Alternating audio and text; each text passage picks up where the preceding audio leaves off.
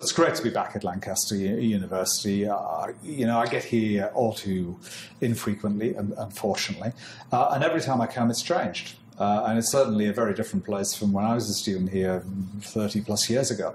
Um, and, you know, in those days, as a member of Pendle College, Pendle was at the far end of the university, and now it's sort of in the middle of the all of the university buildings, and this huge development taking place. The expansion is enormous. You know, actually, it's a better university now than it was then. I mean, it's certainly risen through all the national, international league tables. It excels in so many fields, and you know, I take a I take a great pride in that to see that how my old university is doing so well in today's times, and they're not easy times to do well in. So it's it's fantastic to see, and I've got no doubt that this university has a really great future and will continue to absolutely go from strength to strength, both nationally and also as it becomes more global internationally.